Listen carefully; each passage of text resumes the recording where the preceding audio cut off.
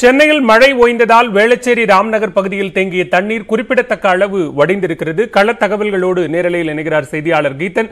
கீதன் தற்போது ராம்நகர் பகுதி எப்படி இருக்கிறது? மழை வெள்ளத்தால் அதாவது கடந்த இரண்டு நாட்கள்ல கடுமையாக பாதிக்கப்பட்ட பகுதிகளில் ராம்நகரும் ஒன்று. தற்போது வெள்ள நீர் வடிய தொடங்கி இருக்கிறதா நிலவரம் என பதிவு செய்யலாம்.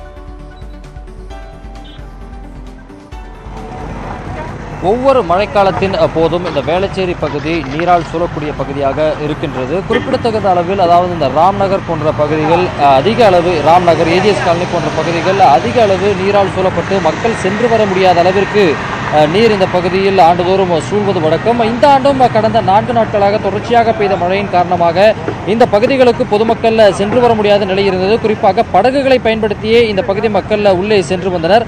ஆனால் தற்பொழுது மழை நேற்று மாலை முதல் ஓய்ந்திருக்கக்கூடிய நிலையில் இந்த பகுதியில் குறிப்பிடத்தகுந்த அளவு தண்ணீர் வடிந்திருக்கின்றது. குறிப்பாக பொது கணுக்கால் அளவு மட்டுமே தண்ணீர் இருக்கின்றது. பொதுமக்கள் உள்ளே சற்று சென்று வரக்கூடிய தங்கள் வீடுகளுக்கு எளிதாக சென்று வரக்கூடிய நிலைமை இருக்கின்றது. கடந்த ஆண்டுகளை ஒப்பிடுகையில் இந்த ஆண்டு நிலைமை என்பது இந்த பகுதியில் சற்று தேவையாக மேம்பட்டிருப்பதாக எங்கள் பகுதிவாசிகள் கருதுகின்றனர். குறிப்பாக இந்த பகுதியில் நீங்கள் வசிச்சுட்டு இருக்கீங்க. இந்த பகுதி ஆண்டுதோறும் மழைக்காலங்கள் எப்படி இருக்குது இப்போ எப்படி இந்த பகுதிகள் இருக்குது பொதுவாகவே மழை பெஞ்சாலே வந்து ரொம்ப டேமேஜ் ஆயிடுது சார் தண்ணி வந்து தேங்கிடுது. ஃபர்ஸ்ட் ஃப்ளோரில் இருக்கிற வீடுகள்லாம் தப்பிச்சிட்டாங்க. மோஸ்ட்லி இந்த குடிசை வாழ் மக்கள் கிரவுண்ட் லெவலில் இருக்கிற மக்கள் வந்து பாதிக்கப்படுறாங்க ஸோ இதற்கு வந்து அரசாங்கம் ம மதிப்பிற்குரிய அரசாங்கம் வந்து அவர்கள் மக்களுக்கு தேவையான போதுமான வசதிகளையும் இந்த மழை இனி அடுத்த தடவை மழை பெஞ்சிச்சுன்னா அந்த தண்ணி போகிறதுக்குரிய ஃபெசிலிட்டிஸும் இதற்கு வந்து மதிப்பிற்குரிய முதல்வர் அவர்கள் மதிப்பிற்குரிய அதிகாரிகள் அவர்கள் கலெக்டர் அவர்கள் நேரில் வந்து இந்த இந்த இடத்தை ஆய்வு செய்து இந்த பொதுமக்களுக்கு தேவையானவற்றை செய்து கொள்ள வேண்டும் என்று மிகவும் தாழ்மையுடன் கேட்டுக்கொள்கிறேன். சரி இந்த பகுதி இப்போ எப்படி இருக்கு சார்? இந்த மழைக்காலங்கள்ல இருக்கு மழை காலங்களில் எப்போவுமே இது கொஞ்சம் தண்ணி எப்போ நிற்கிற இடம் தானே எப்போவுமே? இதுக்கான கரெக்டான விஷயத்தை நம்ம ஃபஸ்ட்டு பத்து மாதத்தில் செய்ய மாட்டோம். எப்போவுமே நவம்பர் டிசம்பரில் மழை வரும் நமக்கு தெரியும். மழை வந்தால் அவ்வளோ தண்ணி தேங்குதுன்னு தெரியும். வேலைச்சேரி ஃபுல்லாகவே தண்ணி தான் நிற்கும் தெரியும். ஆனால் இதுக்கான அட நடவடிக்கை யாருமே எடுக்கிறது இல்லை. எப்போவுமே இந்த பிரச்சனை இருந்துகிட்டே தான் இருக்கும் எப்பவும் கடைசி ரெண்டு மாதம் வந்துச்சுன்னா தண்ணி வீட்டுக்குள்ளே வந்துடும் கிரவுண்ட் ஃப்ளோர் இருக்கவங்க எல்லாம் வெக்கேட் பண்ணிடுவாங்க. ஸோ பொதுமக்கள் இந்த பகுதியில் அவர்கள் சொல்லக்கூடிய இந்த கருத்துக்களை பார்த்தோம். அதிக அளவு தண்ணீர் தேங்கக்கூடிய பகுதி. கால்வாய்கள் இந்த பகுதியில் வெட்டப்பட்டு இப்போ அண்மை காலங்களில் இந்த பகுதியில் தண்ணி மழைநீர் சென்று வருவதற்கான அந்த வடிகால்களை அரசாங்கங்கள் செய்திருப்பதன் காரணமாக தற்போது இந்த பகுதி சற்று மழை அந்த நீர் அதிக அளவு தேங்காமல் அதை விரைந்து வடியக்கூடிய ஒரு கா- சூழல் ஏற்பட்டிருக்கின்றது.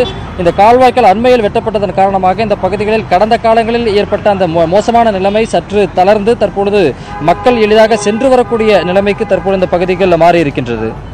கீதன் குறிப்பிட்ட ராம்நகர் பகுதியில் தேங்கி இருக்கக்கூடிய மழை நீரை அகற்றுவதற்கான பணிகள் ஏதேனும் தற்போது தொடங்கி இருக்கிறதா? அது எப்போது நடைபெறும் என்ற தகவல் எதுவும் இருக்கிறதா? அது குறிப்பாக அந்த வேளச்சேரி ஏரியிலிருந்து அந்த வெளியேறக்கூடிய அந்த உபரி நீர் என்பது இந்த மழைக்காலங்களில் அதிக அளவு மழை பெய்கின்ற பொழுது அந்த நீரானது இந்த பகுதிகளை சூழ்வது வழக்கம்.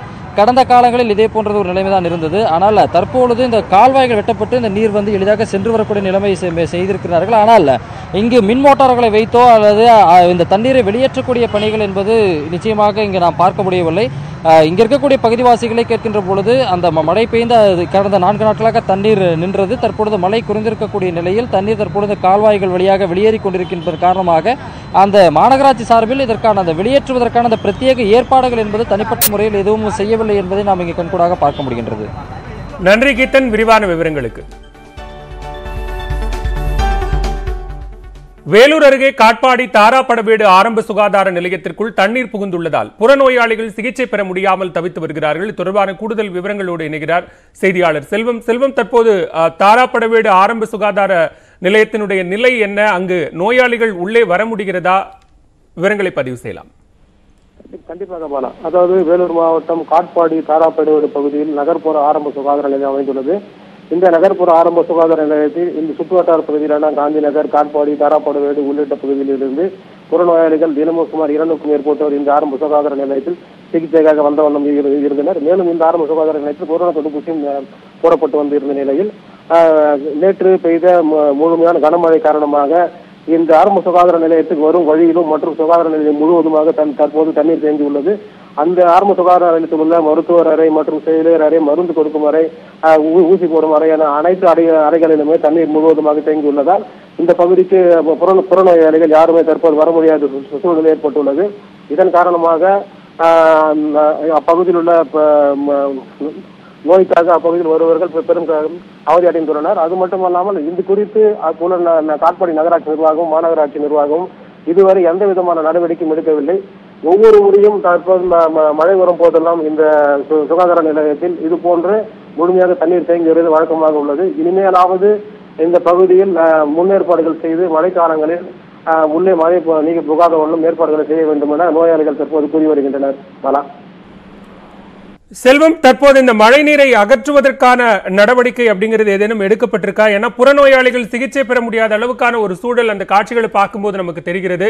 அந்த நீரை அகற்றுவதற்கான நடவடிக்கைகள் தற்போது நகராட்சி தரப்பிலிருந்து ஏதேனும் எடுக்கப்பட்டிருக்கா?